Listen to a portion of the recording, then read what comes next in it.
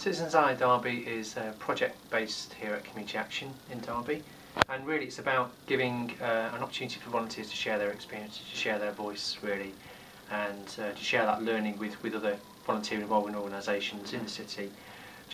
I believe that Citizens Eye Derby fits into Media Trust's objectives because from our perspective the project is all about encouraging communities to embrace digital media, uh, use the free tools that are out there, WordPress, uh, YouTube sites and so on, to be able to create uh, and tell their own stories. In this particular case, it's about coming together around a community of interest, which is volunteering, to be able to capture the, the stories and the impact that volunteering has. Mm. Well, one thing I like about it also is the unpredictability about some of these stories that come out with. I mean, it's not always good stories that they do come out with. That's not a bad thing. Um, hopefully, it'll shine off on them and it'll inspire them to volunteer.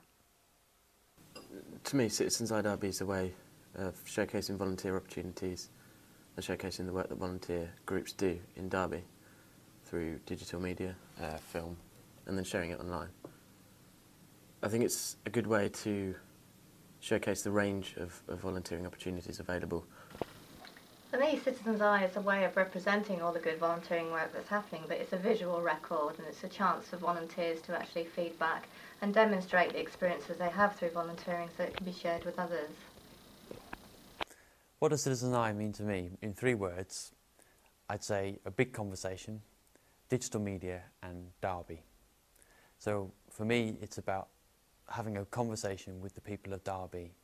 And I know that sounds very grand, but we so we're starting small, but we've got ambitious plans. We want to try and connect with community groups, volunteers, find out what their story is, what their experience is, and capture their feelings and the emotions in a way that's more meaningful, perhaps more engaging than, than text would be. So we're using digital media, video, to really help bring that story alive.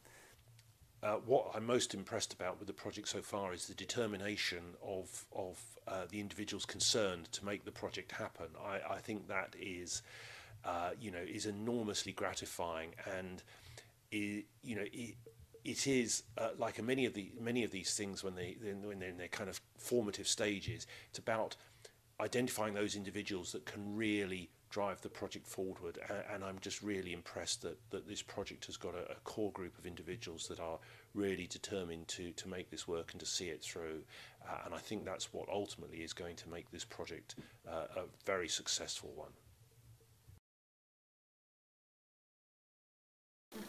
Positive, engaging, enthusiastic.